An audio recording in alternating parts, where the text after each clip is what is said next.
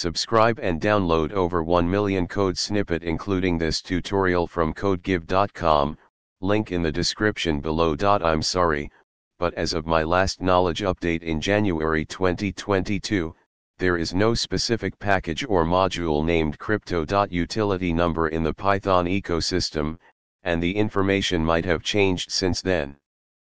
It's possible that the package or module you're referring to has been introduced or updated after my last update.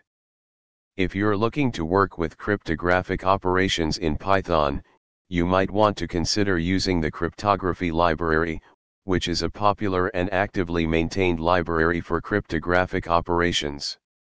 To install it, you can use pip.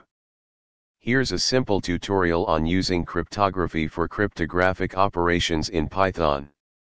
This example demonstrates how to use the cryptography library to derive a key using the PBKDF2 algorithm.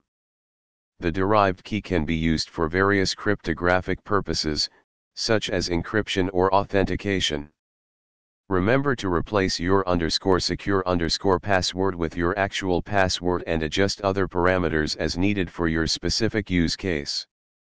Always stay updated with the latest security best practices and be cautious when dealing with cryptographic operations. ChatGPT